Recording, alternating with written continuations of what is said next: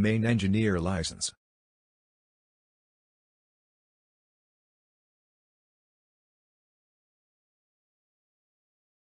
Want to become a certified engineer in the state of Maine?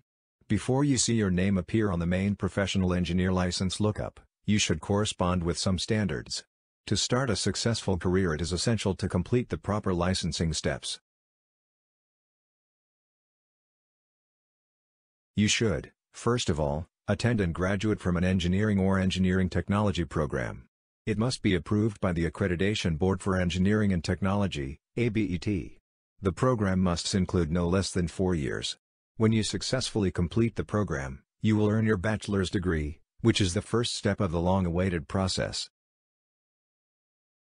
Taking and passing this exam is a must. It is administered by the National Council of Examiners for Engineering and Surveying, NCEES. The exam contains 110 questions. You have 6 hours to finish it.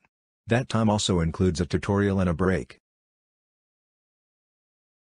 Gaining at least four years of progressive professional experience is a major requirement to be licensed as a professional engineer. To do so, you should work and operate under the supervision of a certified engineer who is much more experienced than you. After some time he is going to submit the engineering employment verification forms to the board.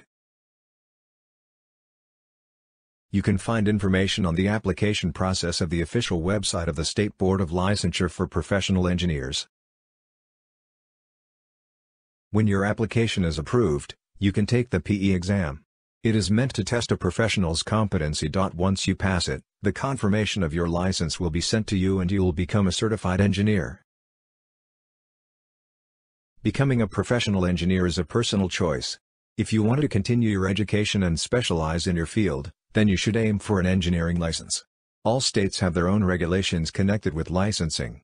In the state of Maine, not all engineers possess a license. They practice engineering without it. However, a PE license may sometimes be a requirement for some engineers. Having a professional engineer license could be beneficial. If you start the process earlier, you will have greater opportunities to succeed in your career. Professional engineers continuously maintain and improve their skills,